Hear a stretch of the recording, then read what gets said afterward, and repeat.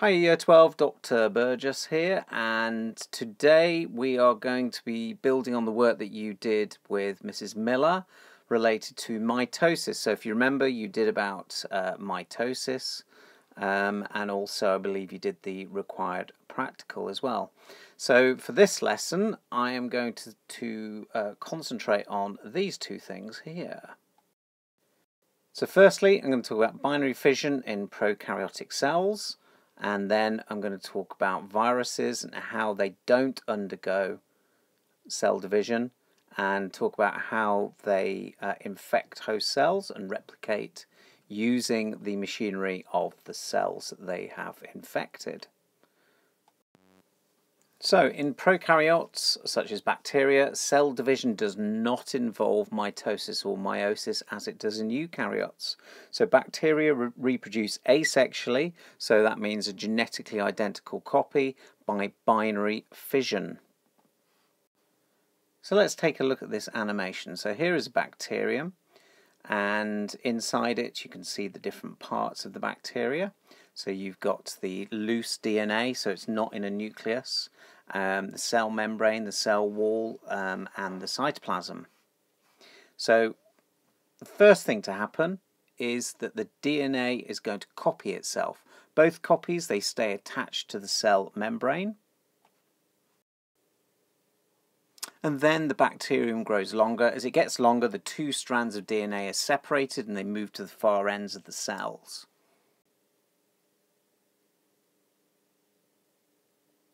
You then can see them starting to separate out and then eventually split. So now the single bacteria cell is divided into what we call two daughter cells and they have each the they each have the same identical copies of DNA. So this process is pretty fast and some bacteria can double every 10 minutes under optimum conditions. It does look a bit like mitosis but it's not and for several reasons. So there's no nucleus, um, obviously, there's no chromatids either and no spindle fibres. So here's a diagram of uh, bacteria undergoing undergoing binary fission. What I'd like you to do is to write some notes. So without looking at the video, I'd like you to write some notes about how this occurs.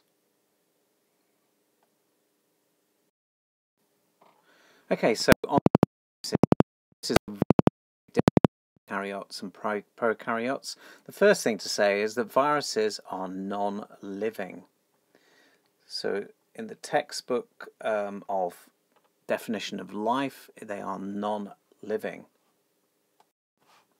The other thing to remember is that they can only reproduce inside host cells. This is really important. Um, obviously, with what's going on with coronavirus at the moment, you'll know that uh, they talk a lot about um, physical isolation and also um, people are isolating, keeping two meters away. That's because the virus needs, they can only, can only keep doing what it does inside a host cell. So if it can't get into a host cell, then it will degrade um, in the environment.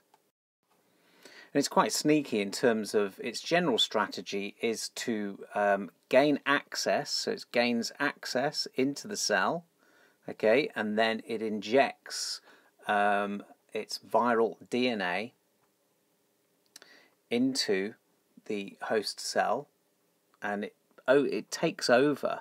It takes over the cell uh, to um, produce more of the virus, and then it eventually bursts out the cell, therefore destroying the, the host cell.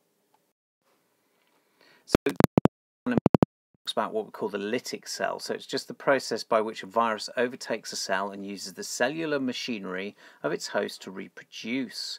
And then it shows the copies of the virus filling the cell, bursting out, destroying the cell, and releasing the virus to infect more cells.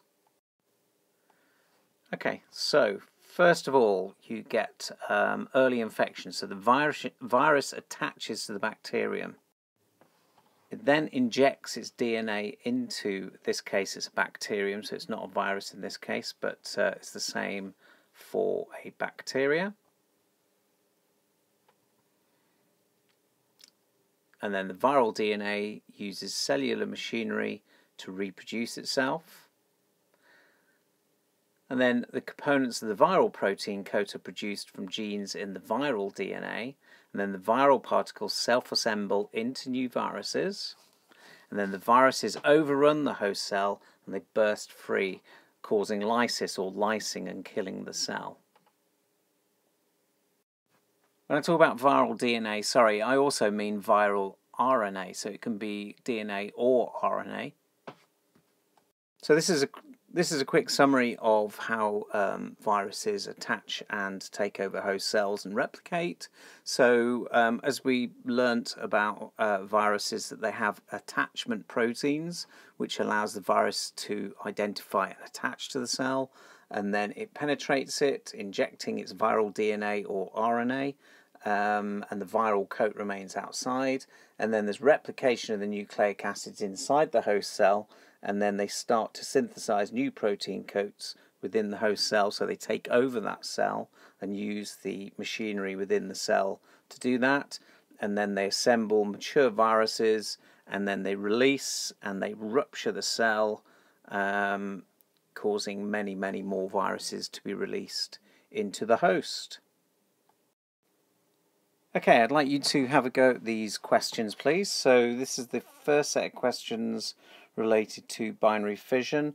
I would like you, please, to make sure you pause before uh, you move on. So pause now. And here are the answers. So if you pause and check your answers, please. and a question related to how new viruses are produced. So again, in a second, you're going to pause. So I'd like you to pause now. And here is the answer. Okay, that's all from me. So uh, if you have any questions, then please do email me. Okay, I hope you found that useful. Let me know if you need anything else, and I will speak to you very soon.